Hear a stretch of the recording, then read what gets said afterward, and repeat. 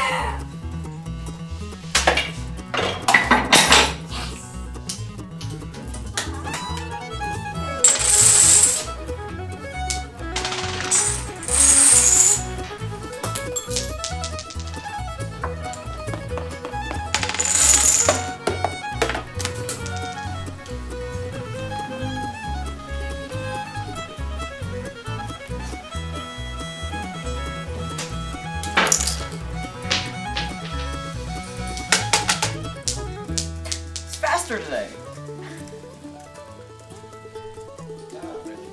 No, it is. It actually is quite a bit faster. Stay this way.